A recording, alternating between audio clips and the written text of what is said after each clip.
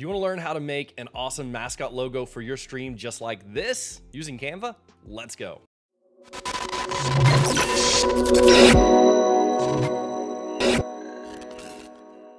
Hey, welcome to this three part series where I'm teaching you throughout this series how to make three different logos for your Twitch stream or your Kick stream or YouTube, wherever you like to stream. I'm showing you how to make logos for those. And there will be a follow up series where I'm teaching you how to make layouts in Canva for each of these individual logos. In the first video, I showed you how to make a lettermark logo. In the second video, I showed how to make a badge logo. And this is the third and final one where we're showing you how to make a mascot logo. If you want links to any of the other ones, they'll be down below. With that said, let's get into today's video. Does your stream need healing? You've come to the right place. My name is Dr. Heals and I'm your content cleric. Around here, we make videos just like this to help you level up your stream using free and simple tools like Canva. All right, first thing you wanna do is open up canva.com. If you don't already have an account, create one and then dive in. Hey, but if you don't have Canva Pro, I have a link down in the description for a free 45 day free trial of Canva Pro. If you want to give that a shot, you don't necessarily need it for these tutorials, but it sure makes it a lot easier. Okay.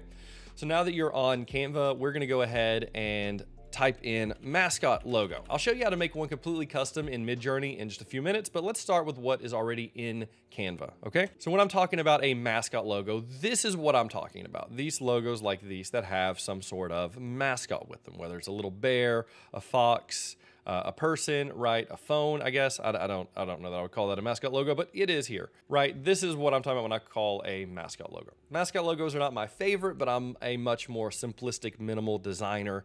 If you're new here, I'm a gamer and a streamer, but I've also been a graphic designer for 12 years, and, and so uh, I've been designing for a long, long time right? So the way we're doing this series is I went ahead and generated up some uh, usernames using ChatGPT. I generated up five, and then I was like, hey, choose three of those for me, and it did these three. Uh, we did Blaze Storm as the lettermark logo. We did Vortex Gamer as the uh, badge logo, and we're doing Cyber Ninja, Cyber Ninja as the mascot logo. So let's think about this for a minute. As we're going through, we definitely want something Ninja-y I like this style of logo. I think this this is a really really cool, but then I need a ninja to go in it. And so actually, let's try it. You know what? Pixels are free, right? We're gonna hit customize this template. Um, and I believe I saw this is a pro template, so you would actually need Canva Pro, but I got you covered down in the description. Uh, free 45 day free trial. All right, so let's start here, and I'm just gonna go under elements here, and I'm gonna see if I can find a ninja, right? So I'm just gonna type in Ninja. A lot of stuff's gonna come up. I want specifically graphics, and I need something that fits this style. I see one immediately. I think this one fits this style pretty well. So let's delete out this Cobra. Let's add this guy in here. I feel pretty good about it already. So we're gonna go and type in, uh, what was his name? Ninja something? Cyber Ninja. All right. Cyber Ninja, right? Cyber Ninja, and we're gonna say, we're just gonna delete this line. We don't need this line. We're gonna say, when did we start streaming? We started streaming in 2020 because pandemic. And then uh, what is a good catchphrase for Cyber Ninja? Let's do strike fear, strike hard, right? I don't know. You, you guys work this one out. If you have a catchphrase, hopefully you already know what it is. Uh, I'm gonna adjust my curvature just a hair so it fits. I wanted it to come down like it's almost hitting these 20s is it was the goal and I don't think we're there. So let's, I think that looks pretty good. I'm gonna actually grab this, hold down shift and tab it out just a hair. Tab it out just a hair. I think that, so there we go. We are, that is one logo already. I'm gonna adjust size. I really want it to come into the, the edges here. So I'm actually gonna hit Shift R, and this actually brings out my rulers because now I can come right here to the edge and I can set up these rulers so I can make sure that my text is perfectly centered. This only matters if you are as critical as me. And I am, so just like that. So there we go. That is, uh, and then I can just click on these and we can delete the guides. I thought, just kidding, can't delete the guides. I'll just drag them off. So there we go. We have one logo ready to go. So that is Cyber Ninja. So let's go and hit add page. I'm gonna actually just look for a Ninja logo real quick, just, just to see what we have here already. That could work easy, right? This is definitely hardcore leaning into the Ninja route. So just be ready. You're gonna be compared to Ninja if this is your logo. Let's be honest, that's awesome, right? That is that is cool, and that was like three seconds at the most. There's this. When you get into the mascot logo, it's to be hard to be unique. I will say that uh, if you use any of these because, well, so many people are using them. but this is definitely an option. You could absolutely do this. I'm not to do this because I'm unique. That's what my my, my wife tells me anyway. Uh, I'm gonna jump over here. I'm gonna jump into Midjourney, and I actually want to do a, a pixelated style. And so here's what I'm gonna type in. I'm gonna say a fierce, detailed pixel ninja face, simple, minimal, uh, on a blank background, right?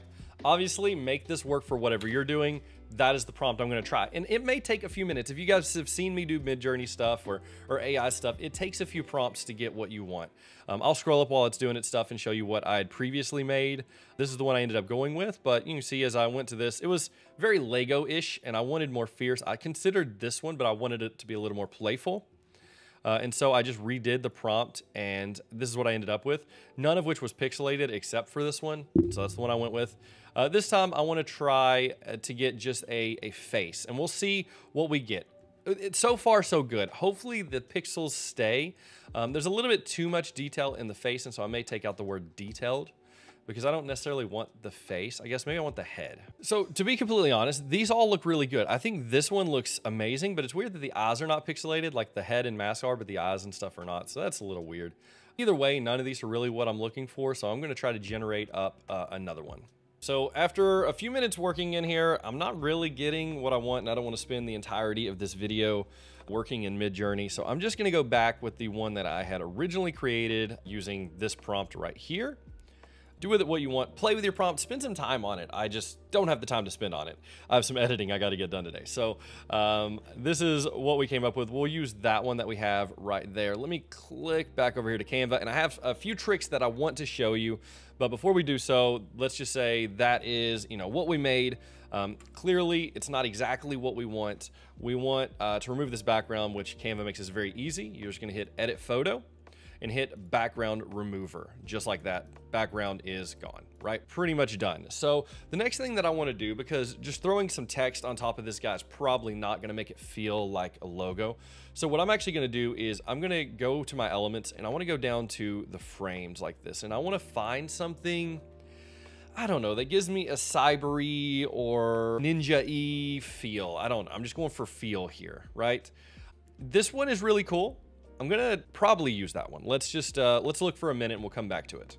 Actually, you know, this one kind of looks cool, right? So let's say we take our Ninja and we put it inside of there. We're gonna double click and I'm gonna size him up a lot. I'm gonna actually zoom out just a hair so I can size him up even more because I really do want it to still be more of just his head. So that I think looks really, really, really cool, right? And so we have this pixelated ninja. Looks like he's been all cut up because he's a ninja. Oh, wait, you see the star here that's already pixelated? Let's create a new, a new frame real quick.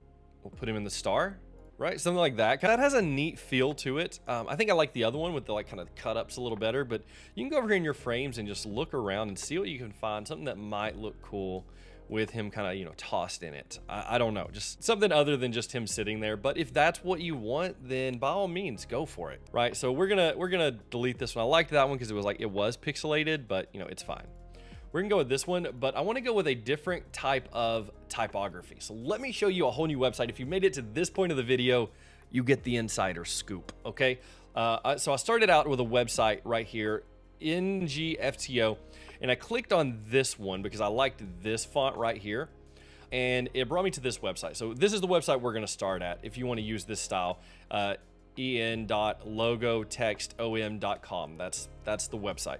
Now I found a few of these other ones, and so maybe later on I'll make an entire video about these for like text effects. But for this particular logo tutorial, we're going to be using this effect right here, this game time effect, this neon games logo, and that looks horrible. I realize that, so go with me. We're gonna type in Cyber Ninja, right? Um, and already, I think this pixelated font is really cool, but as I played with it, I found another one that I thought was maybe just a little, a little cooler. And so this is the one I ended up going with, uh, but this actually I think looks cool too, but let's, uh, let's look through our fonts just a little bit.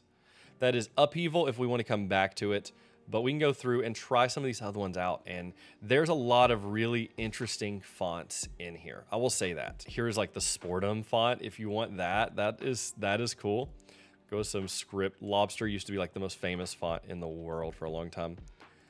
All right, let me look for just a minute. I cannot find this font, guys. So that's one thing I will say. These fonts don't seem to be in any sort of order that makes sense. It, they're not alphabetical or anything, so that's a little aggravating. Can I just type it in? No. Okay. So, okay, for, for the sake of, of time, I'm going to use the one that I made previously, but I'm just going to choose a font that looks good and show you the rest of how to do this, right? Uh, so, okay, let's say this is the font you wanted to go with. Good, you have it set, but if you save it, it's going to save it with this background, and even Canva's background remover cannot help you when you have like this neon style. So let me show you, if you hit right here, which there's all sorts of settings, by the way, guys. We can go into text style, we can italicize it, we can set it to, to align wherever you want, we can round the corners, right? I don't know exactly what that's doing, but anyway, we're not going to worry about it. Uh, a lot that you can actually do here. You can make it 3D or not, right? So get in here, play around. I think that you could have a lot of fun with it. Here you adjust your, your colors and stuff, but I'm good. I'm going to keep my colors exactly how they are. I'm going to hit my background here, and you can see I can change the background color uh, to, you know, whatever I choose it to be. But what I actually want it to be is I want it to be transparent. So I'm just going to change this to zero. And now I have a transparent background. So when I hit save, I can click back over here into Canva and I'm just gonna go to my uploads and I can just drag that in here and you'll see that now I have it and it is a completely transparent background. And so this is a really cool text effect uh, that unfortunately at this point you cannot do in Canva. You can do some things, you can get close, but you can't do it just like this and it was really easy. So um, I'm actually gonna use this one. Oh, make sure you don't drag it into the frame. So I'm gonna make sure I put it down here underneath the frame, size it out. I'm gonna bring it up sort of like this and add a little rotation to it and and do I don't know something like that. I just wanted to show you guys that text effect so you just have another tool in your belt that you can use and play around with. Uh, but if I were actually designing this logo, I wouldn't actually use that style. I would actually just put in some text here and I would type in his name, drag it down here, make it bigger, center it up, change the color. Uh, probably gonna grab a color out of here, maybe this darker gray color, something like that. Go all caps. You guys kind of know my style. You know what I'm to do here. So I'm to pick, we'll go with a pixel because he's already pixel, but I want it to be kind of clean looking. We're just to go back with Arcade Gamer here. Uh, I use this font quite a bit. I'm to size it down. I may even bring my rulers out so that I'm coming right to the edge of the where the graphic actually is. Something like this. Get it really close right? And maybe I'm doing something like this, or maybe I'm gonna come into my effects here and I'm gonna add a little bit of curvature to curve around, something like this. And now I can, I think I can size it up some. And, and I, you know, I have something kind of cool happening here. Maybe I go under effects and I'm gonna put a shadow, kind of a border on it. And I want this actually to come out and be, maybe if I'm bringing a color in here, uh, I would use that. But since I'm not, I'm just gonna grab like maybe the color, maybe this light gray color that's here just like that. I want my transparency, I guess not all the way up because that looked crazy. I want my direction, I think it's pretty good. I want the offset to be a little bit more and I want this to be a little lower. I could come in and do something like this, and I'm entering the realm of a an interesting mascot logo. I wouldn't say it's like necessarily like a clean logo, but it, it's interesting. This is a way that you could, if you spend some more time on it, you could come up with something really, really cool. But of course, there's already a lot of pre-made stuff in Canva for you to use to come up with a stinking cool mascot logo. But anyway, guys, that is this video. I hope this was helpful. I hope you make something incredible. Uh, if you do, make sure you join my Discord and go to the share your art section and post whatever you make. I love to see what you guys make. Make sure you check out the other videos in this series. If you didn't watch part one and part two, um, I'll have a linked over, I guess over here in the card somewhere, uh, also down in the description. And if the overlay videos for these are out, um, I'll pick my favorite one from each, each logo uh, video I did, and I'll make an overlay based around it. And so make sure you sub so you don't miss that one. Hit the bell notification so you don't miss it, and I'll see you in the next one.